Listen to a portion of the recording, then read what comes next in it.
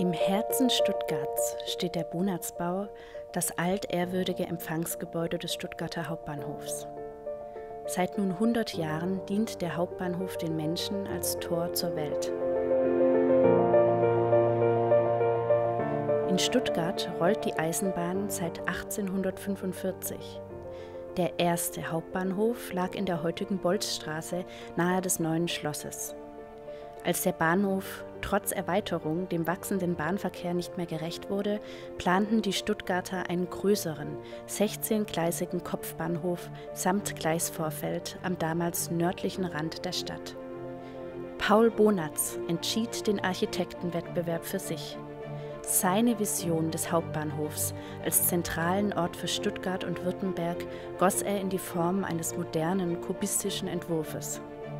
Die asymmetrische Anordnung verschieden großer und verschieden proportionierter Baukörper erschien damals vielen absurd und fremd.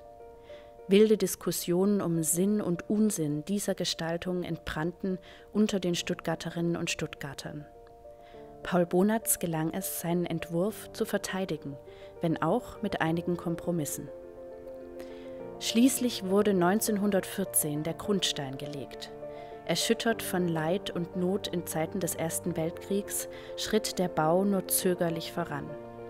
Vor 100 Jahren, also 1922, ging die erste Hälfte des Bahnhofs in Betrieb. Seitdem ist der Bonatzbau für die Stuttgarter das Gebäude des erwartungsfrohen Reisebeginns, des lang ersehnten Wiedertreffens und des Heimkehrens. Der Stern auf dem Bahnhofsturm kam erst 1952 dazu. Mit den Mieteinnahmen dieser Werbeinstallation wurde teilweise der Wiederaufbau des Bonatzbaus nach dem Zweiten Weltkrieg finanziert. Heute, 100 Jahre nach der feierlichen Einfahrt des ersten Zugs in den neuen Hauptbahnhof, geht der Bonatzbau, aber auch die Stadt um ihn herum in eine Metamorphose. Der Bonatzbau bleibt, wo er ist und wird auch in Zukunft Hauptbahnhof sein. Und doch ändert sich alles. Der Bahnhof wurde am Rand der Innenstadt geplant, direkt vor der alten Stadtmauer. Stuttgart ist in den letzten 100 Jahren gewachsen und hat ihn umschlossen. Heute liegt auch das Gleis Vorfeld in der Stadt. Es nimmt große Flächen von Stuttgart Nord in Anspruch und bildet einen Trennriegel, zwischen den Stadtteilen Stuttgart Nord und Stuttgart Ost. Hier wird die Veränderung am sichtbarsten. Mit Stuttgart 21 weicht das Gleis Vorfeld. Neue Parkflächen und Stadtviertel werden entstehen. Das größte Stadtentwicklungsprojekt der Geschichte Stuttgarts lässt den Bonatzbau endgültig in die Mitte der Stadt wandern. Der Bonatzbau wird direkt am Schlossgarten liegen, an seiner Nordfassade wird ein weiter Platz auf dem Dach seiner neuen Bahnsteighalle entstehen. Eine so zentrale und bedeutsame Lage stellt große Anforderungen an den neuen Bonatzbau. Er ist nicht länger ein Gebäude am Rand, das einen Stadtteil beschließt. Er wird zu einem verbindenden Ort, aus allen Richtungen erreichbar, zu allen Seiten geöffnet und einfach passierbar. Als Scharnier zwischen Stuttgart Mitte und Stuttgart Nord der Hauptbahnhof wird ein Ort zum Reisen, zum Verweilen und zum mühelosen Durchgehen.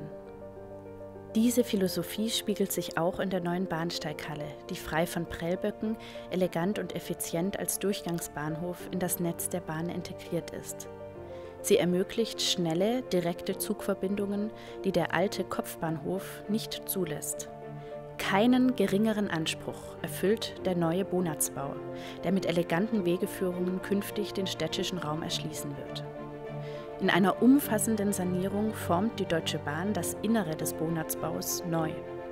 Nach außen bleibt der Bahnhof in der Gestalt, die Paul Bonatz für ihn vor über 100 Jahren vorgesehen hat.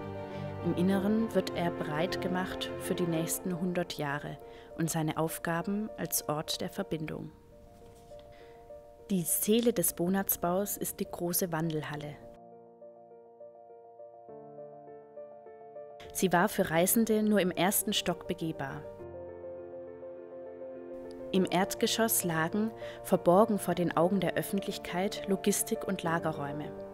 Mit der Sanierung wird auch das Erdgeschoss für die Reisenden geöffnet. Dafür wird die Zwischendecke des ersten Stocks große Öffnungen bekommen.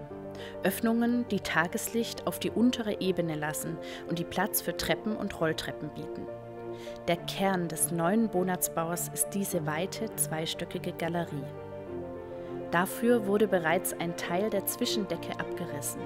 Hier entsteht später die Galerieebene. Mächtige Aussteifungsgerüste stützen die Wände der Halle während der Sanierung. Die acht großen Bögen auf der rechten Seite erinnern auch in Zukunft noch an die acht Bahnsteige des Kopfbahnhofs.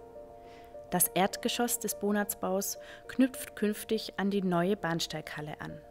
Es mündet ebenerdig in die Stege über den Bahnsteigen. Das bedeutet, Reisende können künftig von der Schillerstraße bis in die Wandelhalle gehen, ohne wie bisher Treppen steigen zu müssen. Sie können weiter ebenerdig auf die Verteilerstege der neuen Bahnsteighalle gelangen.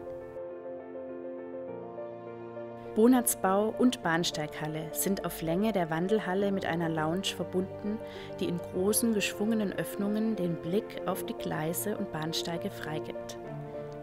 Der zentrale Verteilersteg führt durch die Bahnsteighalle hindurch in den mittleren Schlossgarten. Er bildet einen öffentlichen Weg durch den Hauptbahnhof. All diese Ebenen des Bonatzbaus und der Bahnsteighalle liegen auf gleicher Höhe wie die Königstraße. All diese Wege sind frei von Stufen. Der erste Stock des Bonatzbaus bindet an den neuen Stadtplatz mit den Lichtaugen an. Als städtebauliche Eröffnung der neuen Viertel unterstreicht der weite Platz die Bedeutung des Bonatzbaus in der Zukunft. Der Platz geht in einem 200 Meter weiten Hang in den mittleren Schlossgarten über. Ein großer zusammenhängender Raum wird geschaffen, der für seine Besucher zu beiden Seiten freie Sicht auf die Talflanken bietet. Die Vorbauten des Bonatzbaus sind bereits entkernt. Hier war das Intercity Hotel untergebracht. Das Innere des neuen Bonatzbaus wird den technischen Anforderungen an einen Bahnhof unserer Zeit gerecht werden. In den vielen Räumen werden Geschäfte, Gastronomie, Wartebereiche, Reisendeninformation, Reisezentrum, die DB Lounge und vieles weitere untergebracht sein.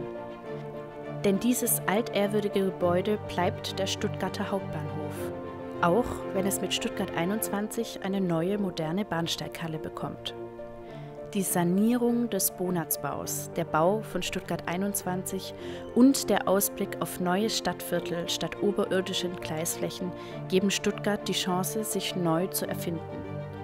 Der Bonatzbau als altes, neues Wahrzeichen, als Kulturgut mit Funktion, verbindet Stadträume, verknüpft Fuß- und Radwege, Stadtbahn, S-Bahn, Regional- und Fernverkehr und das alles im Herzen Stuttgarts.